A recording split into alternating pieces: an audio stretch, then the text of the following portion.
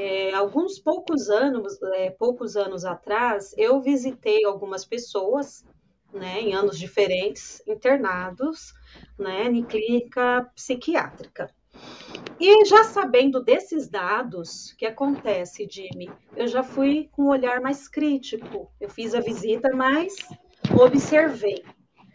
Tal foi a minha surpresa, porque a primeira cena que eu vi era de uma missionária, ela estava em surto psicótico e falava aqueles chavões de igreja, de pentecostal, e a que mais estava alterada precisou ser contida, medicada, e eu vi outros, até jovens, né, da, problema, jovem cristão com problema da sexualidade, e isso aí trouxe uma depressão muito grande, porque nada podemos contra a verdade senão pela verdade. Segunda carta aos Coríntios 13 e 8.